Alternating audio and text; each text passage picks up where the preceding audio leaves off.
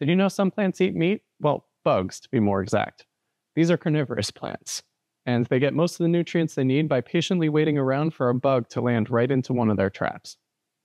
There's the classic Venus flytrap, which snaps shut when three of its hairs are disturbed.